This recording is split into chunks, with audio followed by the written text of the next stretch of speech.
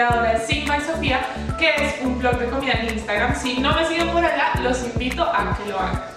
Como pueden ver en el título de este video, hoy vamos a hacer una torta de chocolate con un frosting delicioso. Ustedes son amantes a mis tortas y al dulce, así que hoy les traigo esta que a quien no le gusta una torta de chocolate.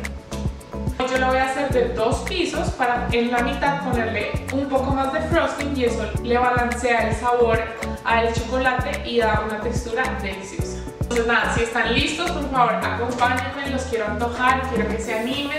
Les voy a mostrar todo el paso a paso y los ingredientes que necesitan. Entonces pónganse cómodos y vamos a empezar.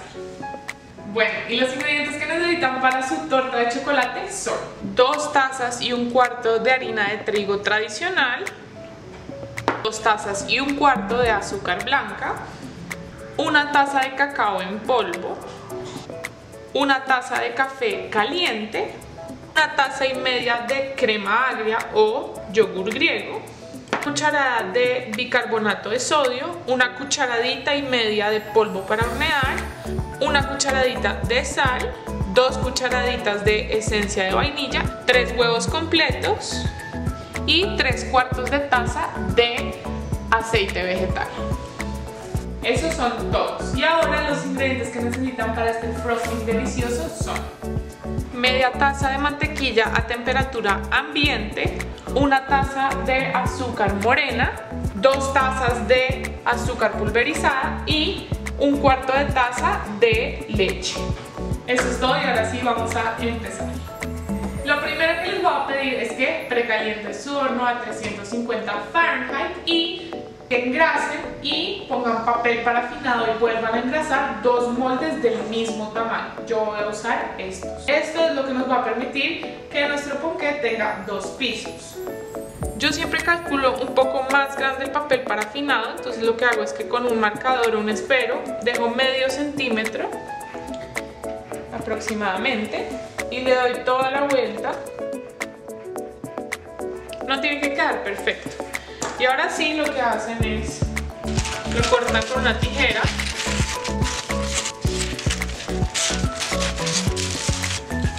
Una vez les queda ese círculo, si ustedes no tienen uno como este que se abre, no tienen que hacerlo más grande. Pero como yo tengo este que se abre, generalmente hay que dejarle como un un margen para que no se nos vaya a salir la mezcla. Entonces ya tenemos el círculo hecho y ahora lo que primero van a hacer es engrasar el molde. Yo lo voy a hacer con mantequilla.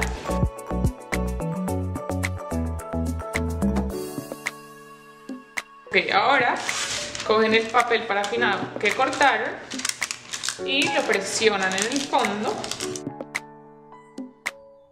entonces lo que hacen ahora es que cogen un poco más de mantequilla y vuelven a hacerle una pasada de mantequilla a ese papel. Y ven cómo queda casi que transparente, esa es la idea. Ahora dejan a un lado esta y hacen lo mismo con el otro molde. Bueno, acá ya tenemos nuestros dos moldes muy bien forrados y los vamos a dejar a un lado y ahora sí podemos empezar. En un bowl grande lo que van a hacer es cernir todos estos ingredientes. Primero la harina, el cacao, lo ciernen, el azúcar,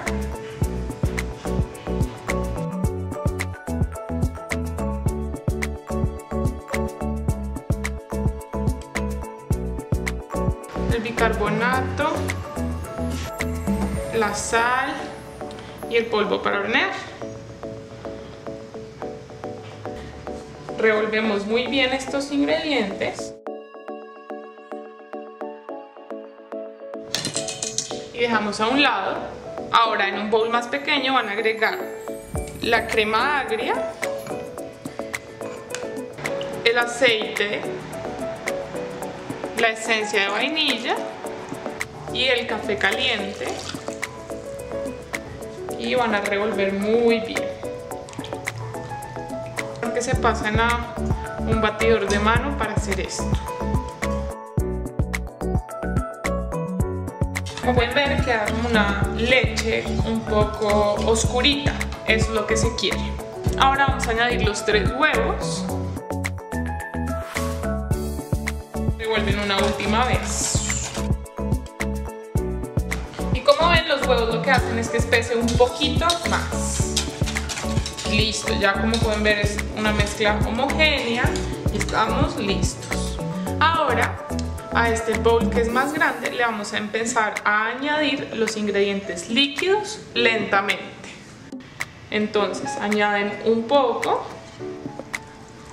empiezan a revolver. No muy rápido porque entonces se sale toda la mezcla.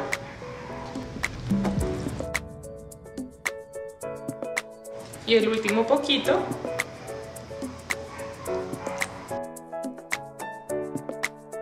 Intenten no revolver más de la cuenta porque si no eso afectará la textura.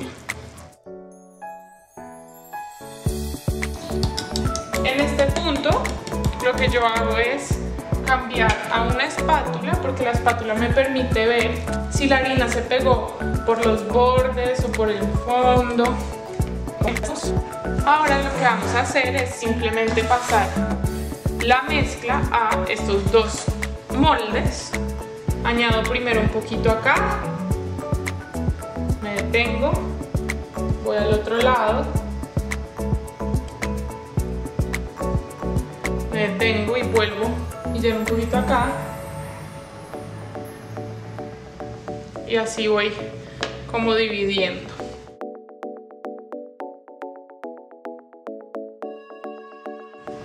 Entonces ya están listas, vamos a llevarlas al horno por 35 minutos o hasta que inserten algo filudo y salga limpio. Ya nos vemos. Mientras nuestra torta está, vamos a hacer el frosting. Necesitan una olla, prender el fuego a medio y lo primero que van a hacer es añadir la mantequilla y la van a derretir. Una vez ha derretido completamente su mantequilla, le añaden el azúcar morena y revuelven. Y no pueden dejar de revolver hasta que hierva esta mezcla. El secreto está en nunca dejar de revolver. Una vez hierve cuentan dos minutos revolviendo antes de ponerle la leche.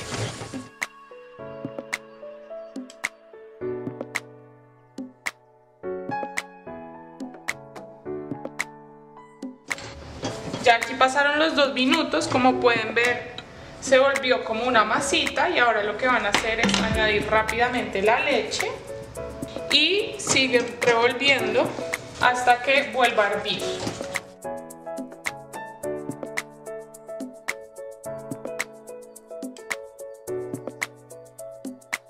Bueno, tres o cuatro minutos después esto ya empezó a hervir y lo que van a hacer es sacarlo del fuego y pasarlo a un bowl y dejarlo enfriar completamente antes de ponerle el azúcar pulverizado.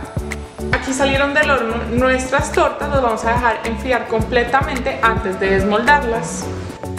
Poco a poco van a añadir el azúcar pulverizada, el caramelo totalmente frío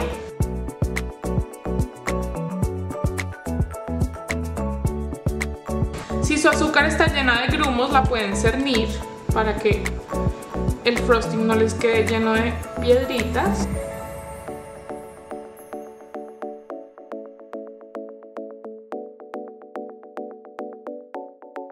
Miren esta textura. Bueno, y ahora quedó nuestro frosting totalmente listo. Ahora vamos a esperar a que las tortas terminen de enfriar para armar nuestro ponqué de chocolate.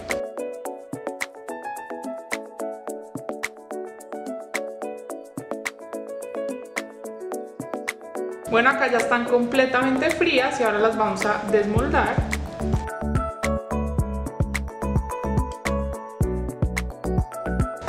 Para la primera van a coger el plato donde van a servir y le van a dar la vuelta. Van a añadir una capa del frosting y con una espátula van a distribuir muy bien esta capita.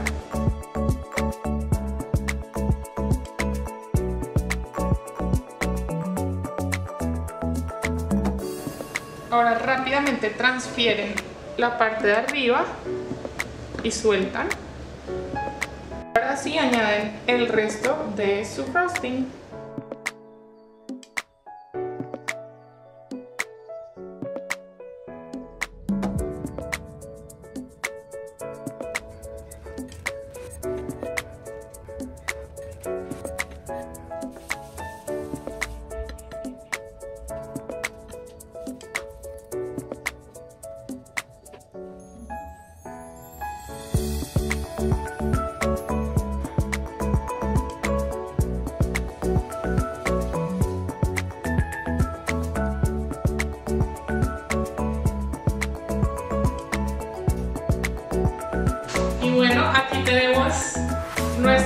Nuestro pedazo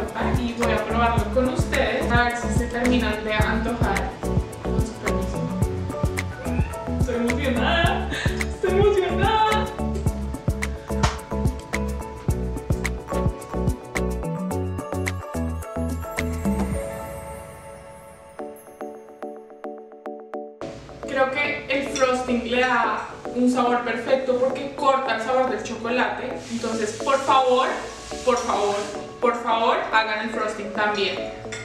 Y bueno, si estaban buscando una receta de una torta que es facilísima de hacer, acá la tienen, una torta de chocolate que a quien no le gusta. Así que espero que se antojen y la preparen y me manden sus versiones. Y ya vamos llegando al final de este video, quiero decirles un par de cosas. La primera es que los invito a que vean mi último video, les voy a dejar el link acá arriba. Es un unas crackers que quedaron deliciosos para acompañamientos, para cuando tengan invitados en su casa. Y si no me siguen en este canal que están haciendo, los invito a que se suscriban, a que prendan la campanita para que les avise cuando subo un video nuevo. Y nada, espero que nos veamos en un próximo video. Les mando un abrazo enorme.